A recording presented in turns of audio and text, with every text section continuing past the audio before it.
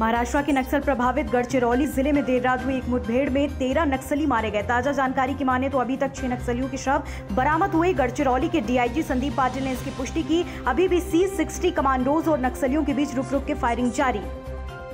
Air force का fighter विमान M आई गुरुवार रात पंजाब के मोगा ज़िले के लंगियाना खुर्द गाँव में क्रैश हुआ। हादसे में pilot squadron leader Abhinav Chaudhary की मौत हुई। एयरफोर्स ने इस हादसे की कोर्ट ऑफ़ इंक्वायरी का आदेश दिया।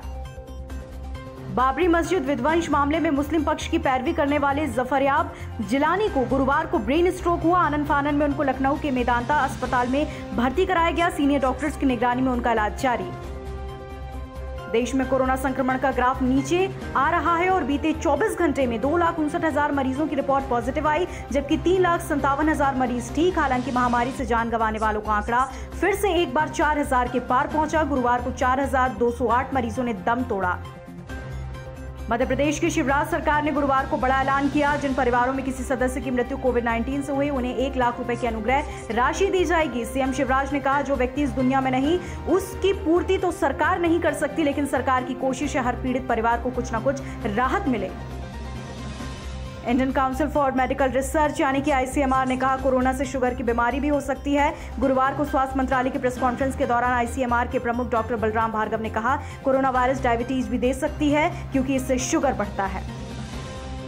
कोरोना महामारी के दौरान सामने आया ब्लैक फंगस। अब केंद्र के लिए बड़ी चिंता बना। केंद्र सरकार ने सभी राज्यों को खत लिखकर ब्लैक फंगस के लिए अलर्ट किया। साथ ही सभी राज्य सरकारों से इसे महामारी एक्ट के तहत नोटेबल डिसीज घोषित करने को कहा। यानी राज्यों को ब्लैक फंगस के केस, मौतों, इलाज और दवाओं का हिसाब रखना होगा।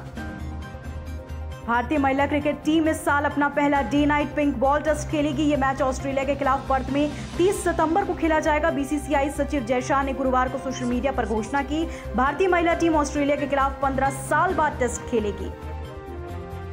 आए दिन पेट्रोल, डीजल की कीमतें निरंतर बढ़ रही। पेट्रोल की कीमत बढ़ने से जहाँ रोज़ाना आवागमन वाले लोगों की मुसीबतें बढ़ी। पेट्रोल की कीमत में 17 मई से 19 पैसे प्रति लीटर तक की बढ़ोतरी देखी गई। डीजल के दाम 30 पैसे प्रति लीटर तक बढ़ाए गए। इसके साथ दोनों ईंधनों की कीमत ऐतिहासिक स्तर पर जा पहुँची।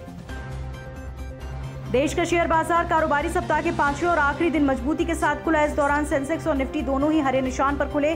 बॉम्बे स्टॉक एक्सचेंज का सूचकांक 30 शेयरों वाला आधारित संवेदी सूचकांक सेंसेक्स तीन सौ तिरपन दशमलव दो दो अंक, यानी कि शून्य दशमलव सात एक फ़ीसदी की तेज़ी के साथ उनचास हज़ार नौ सौ अठारह दशमलव शून्य आठ के स्तर पर खुला।